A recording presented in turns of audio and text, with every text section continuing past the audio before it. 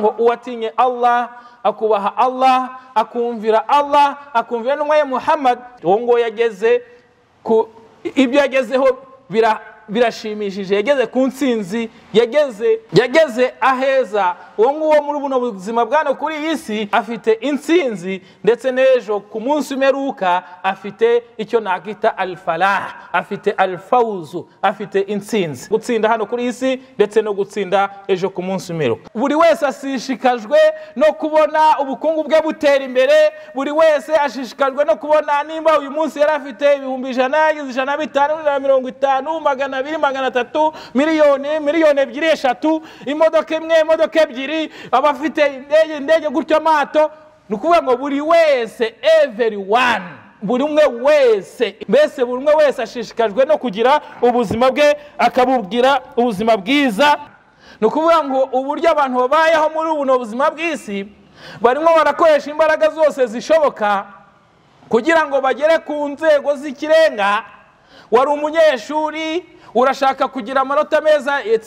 It's okay ni byiza. Wari wenda warangije icyiciro cy'amashuri yisumbuye urimo urahatana ushaka ko byibuze waragera muri university ukayirangiza.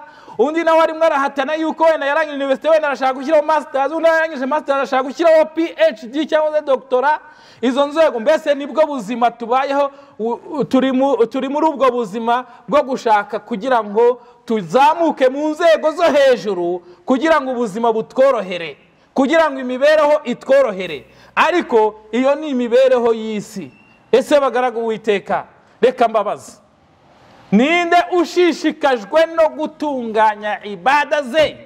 Nk'uko ashishikajwe no gutunganya mayisha ye y'ubuzima bwa hano kuri iyi si.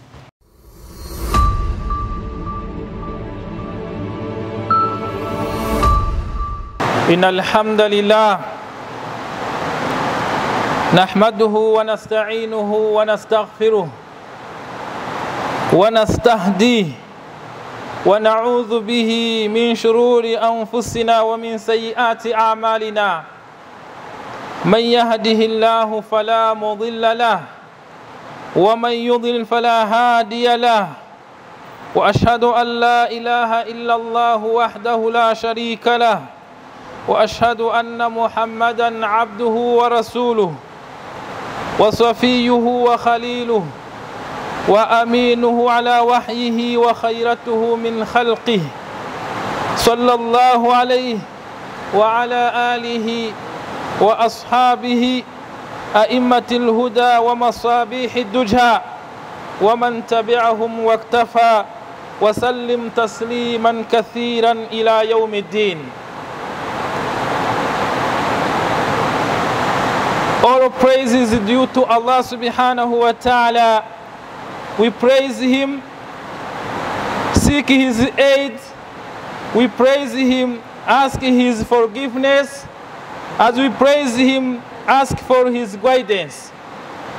ibisingizo byuzuye bizira inenge nta wundi tukwiriye kubisingiza usibye allah subhanahu wa ta'ala turamusingiza buri uko tumusaba imfashanyo turamusingiza buri uko tumusaba imbabazi kandi turamusingiza buri uko tumusaba kutuyobora wa na'udhu billahi min shururi anfusina we seek refuge in Allah from the evils of our souls.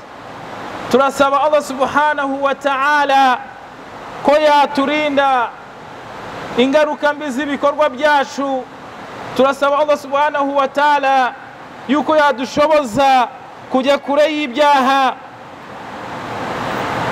wa min sayiati amalina we seek refuge in Allah subhanahu wa ta'ala from the evil of ourselves من يهده الله فلا مضل له whomsoever Allah subhanahu wa ta'ala has guided none can mislead uwo Allah subhanahu wa ta'ala yayoboye nta n'umwe ushobora kumuyobya ومن يضلل فلا هادي له and whomsoever Allah subhanahu wa ta'ala does not lead is the one who is mislead uwo Allah atayoboye uwo nguwo niwe uba wayobye واشهد ان لا اله الا الله وحده لا شريك له I bear witness that there is no ilah worth- worthy to be worshipped but Allah واشهد ان محمدا عبده ورسوله and I wit- and I bear witness that Muhammad is his messenger sallallahu alayhi Allah amuhozeho amahoro n'umugisha wa ala alihi wa sahabihi we n'abasangirangendo be we n'umuryango we peace of Allah be upon him and his families and his companions خيرة خيرة هذه الأمة من خير خيرة هذه الأمة the best of this nation صلى الله عليه وعلى آله وصحبه ومن سال على نهجه and everyone who will follow his path إلى يوم الدين until the day of judgment يا أيها الذين آمنوا اتقوا الله حق تقاته ولا تموتن إلا وأنتم مسلمون Oh who believe fear Allah fear Allah much as should be feared and do not die except as Muslim bagaragu ba Allah bemera Imana nimurusheho kugandukira Allah subhanahu wa ta'ala murusheho gutinya Allah subhanahu wa ta'ala muramenye ntimuzapfe mutari ku buyisilamu bwanyu ya yuhannasu taqu rabbakum الذي خلقكم من نفس واحدة وخلق منها زوجها وبث منهما رجالا كثيرا ونساء. واتقوا الله الذي تساءلون به والأرحام. إن الله كان عليكم رقيبا. بقرقوا الله سبحانه وتعالى نمغاندو چلين يغساني وانيو مغاندو چلين يغساني وانيو وبرمي أبكم ويكمونه أمي أيوة آدم أكمرمرا أمغري ari we hawa amukomoye muri adamu arangije akwirakwiza ku isi abagabo benshi n'abagore benshi abakomoye muri adamu ndetse na hawa. Bagaragu witeka ngaho nimugandukire allah we musabana we musabana ku bwe kandi mutinye guca imiryango. Mu by'ukuri allah subhanahu wa ta'ala wanyu O mankind, fear your Lord who created you from one soul and created from, in, from it its mate and dispersed from both of them men, men and women.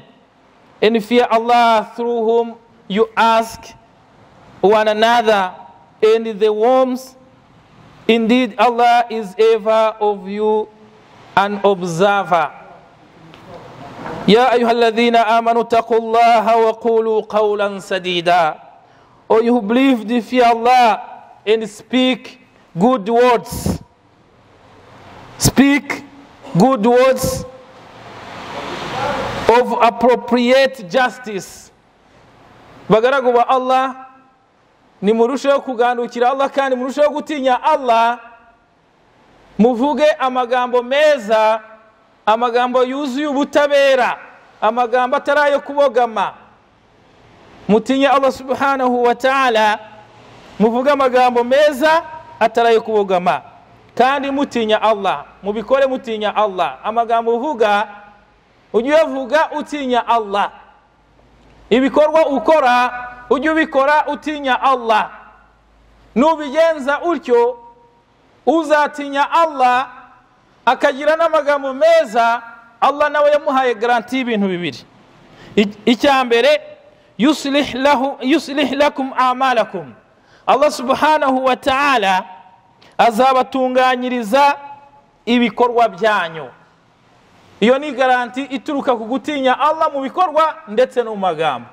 Uzarangwa no gutinya allah mu mvugo ye uzarangwa no gutinya allah mu bikorwa bye allah azagira ugutu azashyira ugutungana mu bye.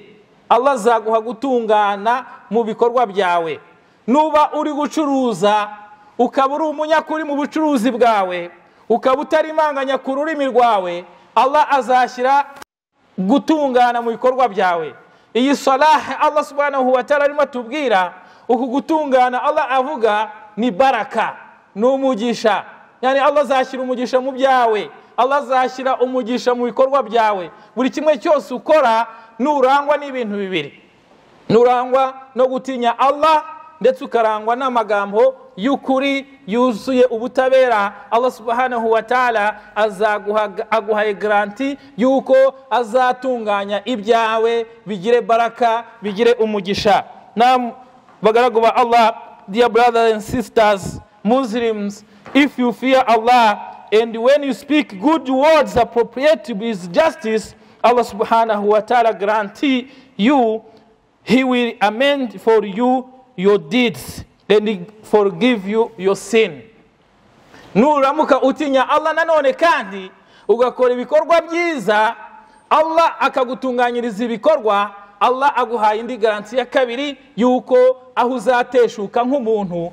He will forgive your sin. Allah azakubabarira aho wateshutse nk'ikiremwa ariko igihe cyose ibyo ukora ubikora utinya allah subhanahu wa ta'ala. Bagaragu witeka allah akomeza avuga ati waman yuti ilaha wa rasulahu. Uzumvira allah akumvira n'intumwa ye.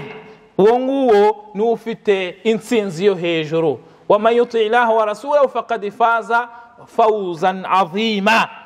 And whoever obeys allah and his messenger has certainly attained a great attainment. Ukuvuga ngo uwatinye allah akubaha allah akumvira allah akumvira n'umwe muhammad sallallahu alayhi wa sallama uyu nguyu has, has, has certain, certainly attained a great attainment. Uwo nguwo yageze ku ibyo yagezeho birashimishije. Yageze ku ntsinzi yageze yageze aheza. Uwo nguwo muri buno buzima bwana kuri iyi si ari successful. Afite intsinzi ndetse n'ejo ku munsi umeruka afite icyo nakita alfalah. Afite alfawuzu afite intsinzi. Falfawuzu fawuzayin alfawuzu bidari lhayati dunya walfawuzu bil akhira ndetse no gutsinda. Gutsinda hano kuri iyi si ndetse no gutsinda ejo ku munsi umeruka. Otherwise bitari ibyo hari igihe usanga umuntu afite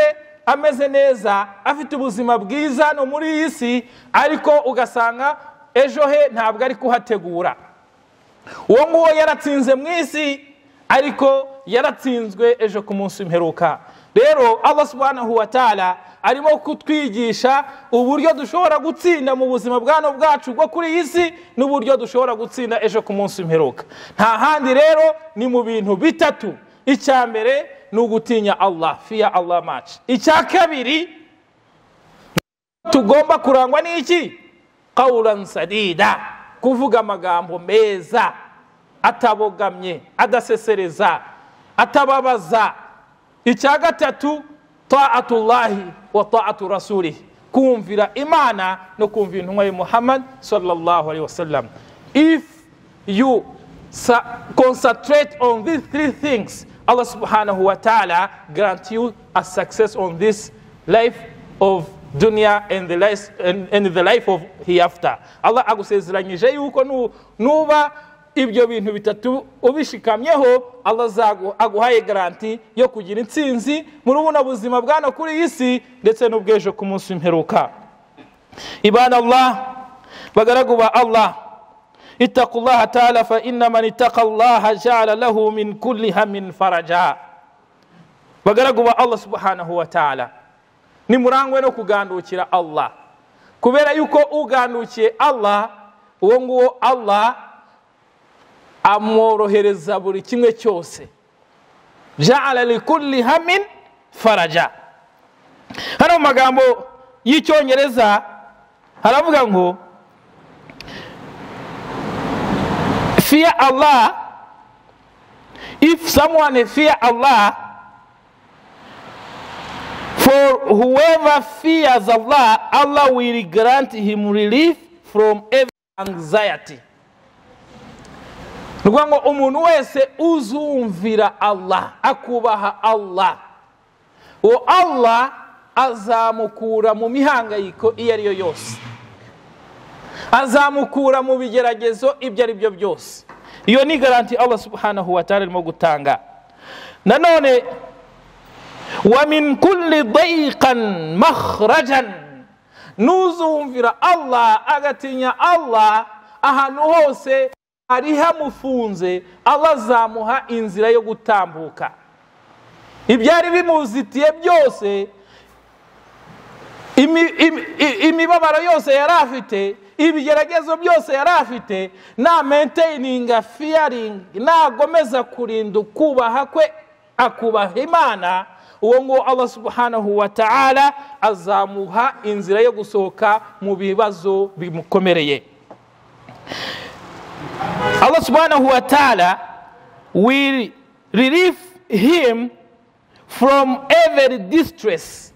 Umuntu wese uzatinya allah ibintu byose byamusiteresaga byamujagarikishaga byamubangamiraga allah subhanahu wa ta'ala azabimukuriraho abone inzira yo gutambuka wayaruzuku min haythu la yahtasib ikindi allah subhanahu wa ta'ala will grant him his sustenance allah azamuha grant amuha amafunguro mu buryo we atakekaga ibadallah bagaragu ba allah subhanahu wa ta'ala yahurusu kathiru minanasi ala tahsini awudahum madiya abenshi mu bantu usanga bashishikajwe n'ubuzima bwabo busanzwe bufatika gushaka imibereho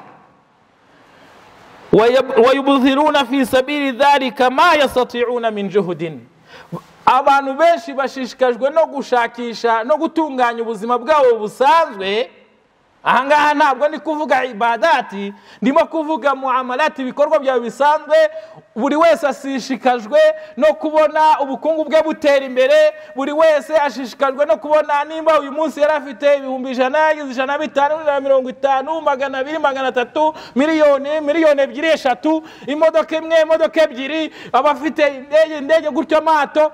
Ni ukuvuga ngo buri wese every one buri umwe wese is focus on beterize his life. Mbese buri umwe wese ashishikajwe no kugira ubuzima bwe akabubwira ubuzima bwiza. Ariko ibyo byose wayibuziruna fi sabili dhalika ma yastatiuna min juhud akoresha imbaraga zose zishoboka kugira ngo abashe kugera kuri ibyo mvuze byo kugera to attain on his goal. mbese kugira ngo agere ku ntego ze agere ku nsinzi ya hano mu buzima bw'isi wayasilukuna alasbaba alwasail litahqiqi hadha almaqsad agakoresha all styles uburyo bwose bushoboka kugira ngo abashe kugera kuri iyo ntego فتجد الواحد منهم في ليلة في ليله ونهاره مراقبا ملاحظا لحاله. يعرف مظاهر التقدم والتأخر بل تراه لا يرضى بما تقوم به حياته وتستقيم به معيشته حتى يحصل من الدنيا أعلى الدرجات وأشرف المراتب. ni ukuvuga ngo uburyo abantu babayeho muri buno buzima bw'isi barimo barakoresha imbaraga zose zishoboka kugira ngo bagere ku nzego z'ikirenga wari umunyeshuri urashaka kugira amanota meza it's, okay ni byiza. Wari wenda warangije icyiciro cy'amashuri yisumbuye urimo urahatana ushaka ko byibuze waragera muri university ukayirangiza undi nawe arimo arahatana yuko wenda yarangije university wenda arashaka gushyiraho masters undi yarangije masters arashaka gushyiraho phd cyangwa se doctora izo nzego mbese ni bwo buzima tubayeho turi mu- turi muri ubwo buzima bwo gushaka kugira ngo tuzamuke mu nzego zo hejuru kugira ngo ubuzima butworohere kugira ngo imibereho itworohere. Ariko iyo ni imibereho y'isi. Ese bagaragu uwiteka reka mbabaza ninde ushishikajwe no gutunganya ibada ze? Nk'uko ashishikajwe no gutunganya maisha ye y'ubuzima bwa hano kuri iyi si. Reba efforts. Reba imbaraga ushyiramo. Reba ubwenge ukoresha. Reba ibitekerezo ukoresha. Kugira ngo ugire ubuzima bwiza. Kugira ngo uzabashe gufesinga challenges z'ubuzima. Ese uramutse uzishyize muri ibadati urumva waba uri mu yihe martaba? Urumva waba uri mu yihe level? Uramutse ushishikajwe no kugana umusigiti. Nk'uko ushishikajwe no gushaka ubuzima.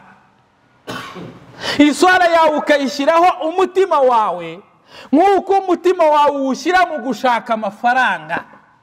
Iyo wayabuze urahangayika ariko iswara yagucika ntibikubabaze. Iyo amafaranga wayabonye urishima ariko ntunyurwa urakomeza n'ejo ugakomeza ugakomeza. Uramutse ufashe ubwo buryo ukoresha mu gushaka imibereho. Ukaba ariko ubukoresha mu gutunganya relationship yawe na allah subhanahu wa ta'ala. Imibanire yawe na allah subhanahu wa ta'ala. Urabona rizati yaba iri iyihe yaba ari nziza cyane bagaragu ba allah. Rero hutuba yacu y'uyu munsi irimo gukangurira buri umwe muri twebwe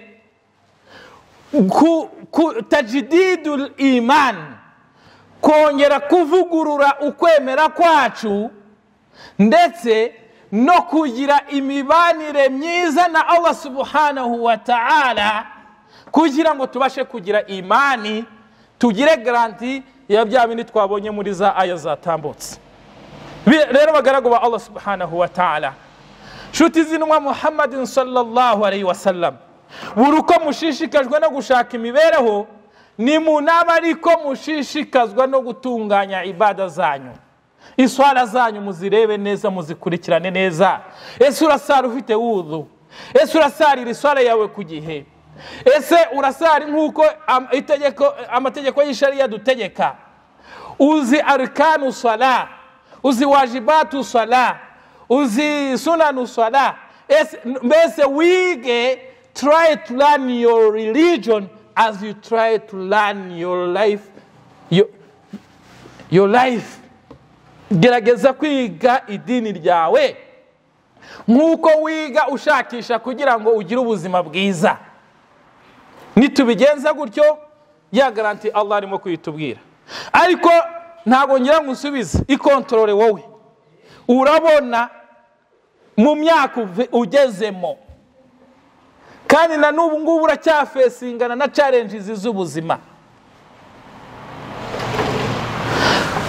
Reba kuva mu buto bwawe from your childhood. Uhere mu buto bwawe. Kugeza ubu ngubu. Urebe. Ni uruhe ruhare wahaye idini ryawe? Ni uruhe ruhare wahaye ibadati zawe? Urebe niba utariryarye wowe utaribereye indyarya utarihuguje. Reba relationship yawe na allah subhanahu wa ta'ala. Kuva mu buto bwawe. Allah wamuhaye umwanya ungana iki? Ubu ngubu ndabizi. Abenshi muri mwebwe bari kuvuga ati shekha arimo kuturambira. Ntabwo arimo kugira vuba ngo hutuba isoze tuyigire mu gushaka maisha. Kubera yuko the life is concerned with what? Is concerned with seeking livelihood. Ubuzima bw'umuntu umuntu roho y'ubugingo bwe buri kureba gusa n'ibijyanye n'ubuzima bw'isi but is not concerned with with creating better relationship with Allah. Ntabwo ubuzima bwawe urimo kubujyana no kuba watunganya imibereho myiza yawe kugirana imibanire myiza alaka bayinaka wa bayina rabbika ntabwo umuntu ibyo rwose ntabwo abyitayeho. Bityo rero bagaraga uwiteka nshuti z'intumwa y'imana muhammadin sallallahu alayhi wa sallam min adiyati rasuli sallallahu alayhi wa sallama mu busabe intumwa y'imana muhammadin sallallahu alayhi wa sallama yajyaga ivuga yajyaga isoma ivuga iti allahuma ya muqalba alqulub thabiti qalbi ala dinika mu busabe bwiza intumwa muhammadin sallallahu alayhi wa sallama yajyaga isaba yaravugaga iti mana yanjye wowe uhindura imitima all the changer of hearts make my heart steadfast on your religion steadfast or steady firm on your religion. Abe intumwa y'imana muhammad sallallahu alayhi wa sallama mu butumwa yajyaga mu busabe yajyaga asaba allah subhanahu wa ta'ala yajyaga avuga ati mana nyagasani wowe uhindura imitima. Allahumma ya muqalba alqulub aw ya musarrifa alqulub wowe uhindura imitima. Thabiti qalbi ala dinika. Mana nyagasani wowe uhindura imitima. Umutima wanjye gushikama ku dini ryawe rero nitugira igihagararo mu dini ryacu. Tukariha agaciro. Tukariha icyubahiro nk'uko idini ryacu rifite icyubahiro. Tukaripuragitisinga cyangwa tukarishyira mu bikorwa mu mibereho yacu ya buri munsi nk'uko dushyira imbere ubuzima bwacu gushaka ubuzima. Allah subhanahu wa ta'ala bya bindi byose navuze. Bijyanye no gutinya allah no kuvuga amagambo meza no kubaha allah no kubaha intumwa ye muhammad salama allah azadutunganyiriza ibyacu wowe cungana no gusaba allah ko yaguha ubushobozi bwo gutunganya idini ryawe. Idini ryawe nuba urihagazemo neza ukarangwa n'amagambo meza utari wa muntu ushyashyarizanya uteranya ubunza amagambo adafite umumaro. Ubundi ukaba wubaha allah subhanahu wa ta'ala usari gatanu ku munsi hamwe na imamu musigiti solaturi fajiri itagucika ndetse n'izindi sara wasayiri solawati zose suratul khamsa mani imamu fil masjid sala ukaba uzikorana na imamu musigiti aho ngaho uzaba ufite good relationship na allah subhanahu wa ta'ala. Allah rero araguha garanti yuko azagutunganyiriza ibyawe aguhe n'amafunguro mu buryo wowe utakekaga. Si ya mafunguro mwashakaga mwirugaga mwirukankaho ukabeshya kugira ngo ubeho ugakora ibidakorwa kugira ngo ubeho. Nyamara dore aho ubuzima buri amafunguro ya harari aho ari ari mu kubaha allah no kubaha intumwa ye ari mu kugandukira allah ndetse no gukurikiza imigenzo y'intumwa muhammad sallallahu alaihi wasallam. Ubundi ukarangwa n'amagambo meza ukituriza ukareba ko ibada yawe urimo kuyikorana ikhlas. Ukareba ko ibada yawe uri kuyikorana ikhlas ya, ibada allah ibada yawe nutayikorana ikhlas ikazamo riya ibyo wakoze byose bizaba imfabusa ibada yawe nuyikora kugira ngo abantu bagushime yuko wayikoze ibyo uri gukora byose bizaba useless. Ariko ibada yawe nuyikora lillah. Ukayikora kubera allah subhanahu wa ta'ala ukajya ku musigiti ugahaguruka mu rugo rwawe nta kindi kigusohoye mu rugo werekeje ku musigiti. Buri ntambwe uzajya utera allah yarfawuka biha daraja allah ngo azajya kuzamura mu ntera. N'indi uteye aguhanaguraho ibyaha. Wasomye ya duwa yo gusohoka mu rugo utayibagiwe. Shayitani ngo nashaka kukwegera. Na zo zirabwirana ngo mushobora guta umugaragu wa allah waturutse mu rugo rwe yambaye antibare yiragije allah subhanahu wa ta'ala. Ntabwo bishoboka. Wasohotse mu rugo wasomye iduwa ukajya ku musigiti. Intambwe uri gutera allah arimo kukwandikira ibyiza kuzamura mu ntera guhanagura y'ibyaha. He uwo nguwo ni umwemeramana ucungana na ibada ye udakorera riya ufite ikhlasi kandi agakurikiza intumwa muhammad afite icyo twita mutabaa gukurikiza intumwa muhammad sallallahu alaihi wasallam bagaragu ba allah nshuti z'intumwa y'imana muhammadin sallallahu alaihi wasallama khutuba kubera yuko ntashaka ko iza kuba ndende hari amwe mu magambo y'abasangirangendo nza kuvuga muri khutuba ya kabiri biidhnillahi subhanahu wa ta'ala والعصر إن الإنسان لفي خسر إلا الذين آمنوا وعملوا الصالحات وتواصوا بالحق وتواصوا بالصبر. بارك الله لي ولكم بالقرآن العظيم. ونفعني وإياكم بذكر حكيم. أستغفروه إنه هو الغفور الرحيم وهو البر الكريم. إن الحمد لله نحمده سبحانه ونستغفره ونعوذ به من شرور أنفسنا ومن سيئات أعمالنا. من يهده الله فلا مضل له ومن يضلل فلا هادي له. عباد الله لقد كان رسول الله صلى الله عليه وسلم وهو إمام العابدين وسيد الخاشعين الذي يقول عن نفسه أما إني لأخشاكم لله وأتقاكم له. لقد كان صلى الله عليه وسلم مع ذلك يقوم من الليل ما شاء الله له أن يقوم حتى تفطرت قدماه ويقول أفلا أكون عبدا شكورا. صلى الله عليه وعلى آله وصحبه ومن سار على نهجه إلى يوم الدين bagaragu Allah subhanahu wa ta'ala nongeye gukuza Allah subhanahu wa ta'ala mu mazina ye n'ibisingizo bizira inenge mpamya ko nta imana ikwiye gusenga usibye Allah ari nako mpamya ko Muhammad ari intumwa ye akaba n'umugaragu we intumwa Muhammad sallallahu alaihi wasallama ari we muyobozi w'abagandukira imana imamul abidin wal muttaqin rasul salama yari leader of al muttaqin yari umuyobozi w'abatinya imana akaba n'iki akaba n'umuyobozi w'abagandukira imana wa sayidul khashiina ndetse akaba na leader of fears of allah yari umuyobozi w'abatinya allah bityo rero abagaragu ba allah yakura nafsihi arivugira we ati ama ini la akhshakum lillah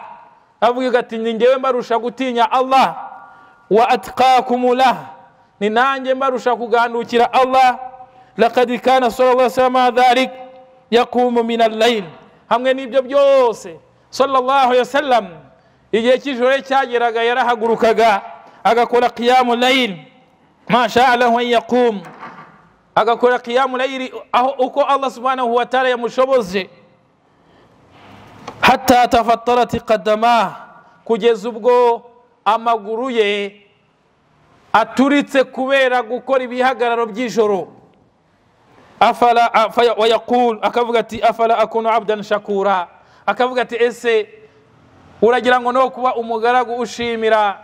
Aha naho aisha yamubazaga ati ya rasulallah ye ntumwa ya allah kubera iki wirushya wivuna? Ko allah yakubabariye ibyaha waba warakoze mbere y'uko uhabwa ubutumwa na nyuma yaho. Kubera iki? Allah yagutoranyije akakugira intumwa. Kubera iki wirushya ukarara amajoro uhagaze? Arasuzarama akavuga ati se yewe yewe mufasha wanjye. Uragira ngo no kuba umugaragu ushimira allah. Bityo rero bagaragu ba allah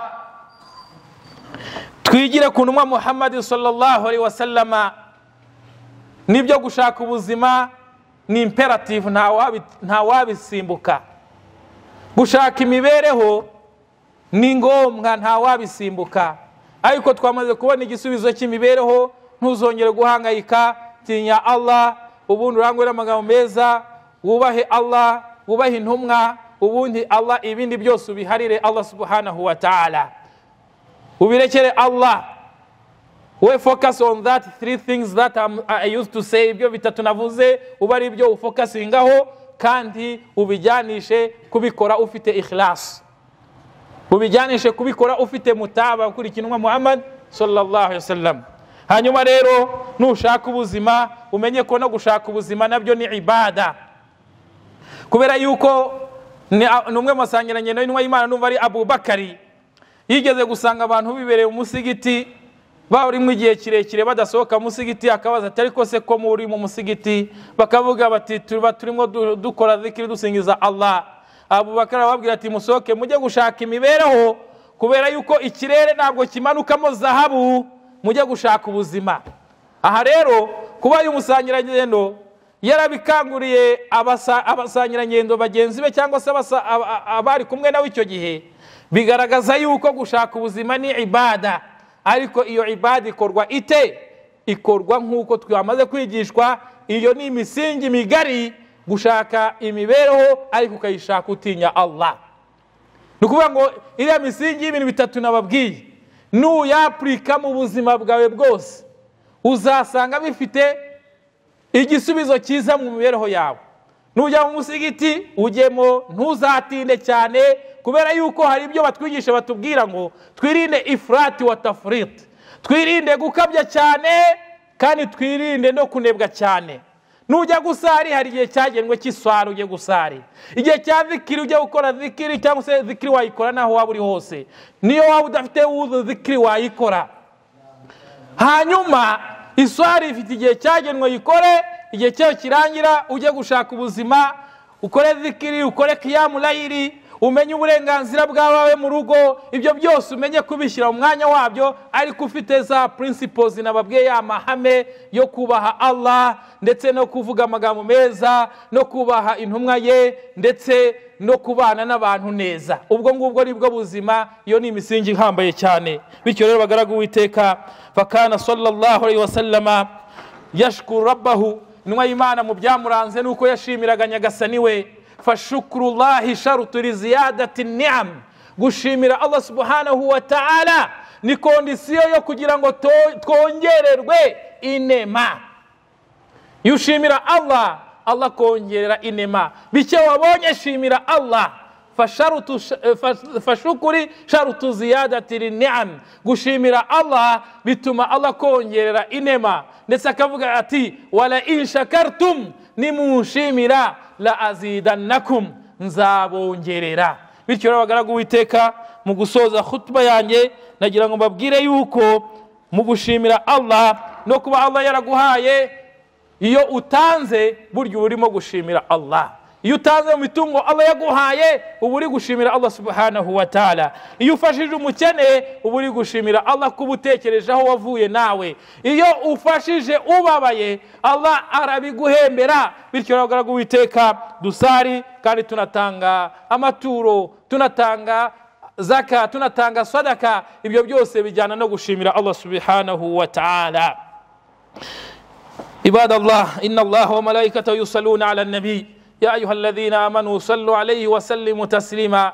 اللهم صل على محمد وعلى آل محمد كما صليت على إبراهيم وعلى آل إبراهيم في العالمين إنك حميد مجيد.